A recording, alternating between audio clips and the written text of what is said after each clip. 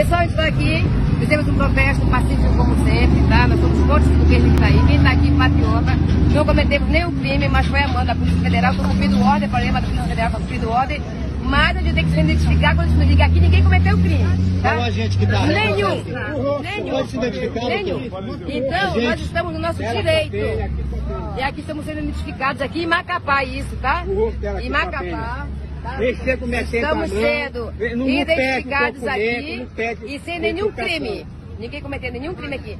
Uma manifestação pacífica. Tá? Então é direito nosso. Ainda que o presidente que está aí na cadeira, ele já, já, já glorificou o comunismo e, e, e, e dá orgulho de ter colocado um comunista no STF, mas nós ainda temos uma Constituição que ainda está valendo. O rosto dela aqui tá aqui. O dela aqui tá bem. Livre manifestação. Direito de livre manifestação. Eu não vou abrir Tem manifestação. que chegar a educação. E a gente vai continuar, Deixa vai continuar.